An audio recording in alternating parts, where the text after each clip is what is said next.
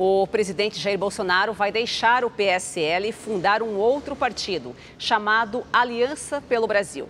A decisão foi anunciada por ele a aliados em uma reunião no Palácio do Planalto. A decisão já vinha sendo discutida há dias e começou após uma crise entre o presidente da República e o presidente do PSL, Luciano Bivar.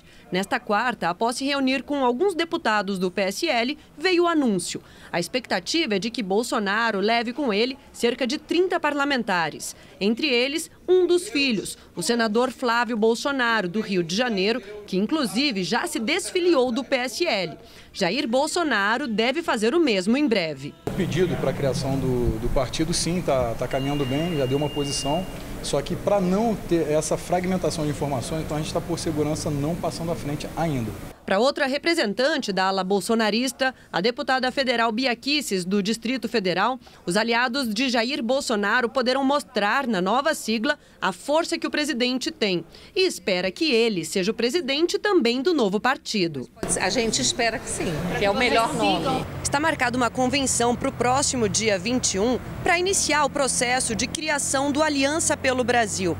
E hoje à tarde, durante reunião com parlamentares, o presidente Jair Bolsonaro pediu para que não se critique o PSL e comparou a saída dele do partido ao fim de um casamento.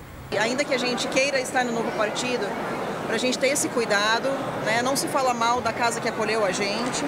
Após o encontro, Jair Bolsonaro participou no Palácio do Planalto do lançamento do programa Previne Brasil do Ministério da Saúde. A partir do ano que vem, a pasta vai distribuir 2 bilhões de reais a mais aos municípios que atingirem uma série de metas na atenção básica à saúde. O ano que vem é trabalhar, trabalhar, trabalhar. Colher os frutos da prevenção para uma cidade mais sadia, para equilíbrio econômico-financeiro, alocar os recursos que nós precisamos alocar, aumentar a cobertura mas principalmente fazer valer cada centavo do contribuinte brasileiro quando o assunto é saúde.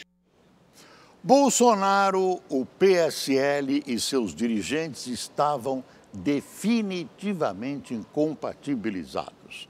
O presidente não conseguiu ter o controle do partido, que até chegou a votar contra um projeto do governo.